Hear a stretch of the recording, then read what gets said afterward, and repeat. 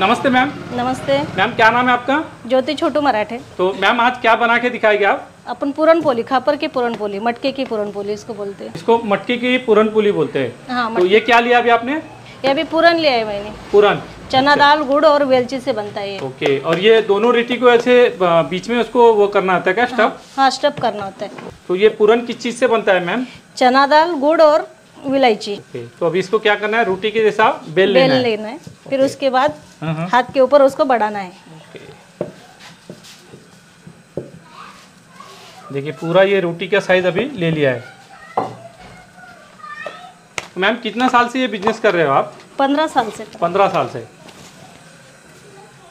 अच्छा ये क्या डाला अभी आपने? ये अभी तेल। तेल। हम्म, उसके बाद रेडी होने के बाद उसमें घी डालते हैं। हाँ इकडे बघा इकडे बघा हाँ सर।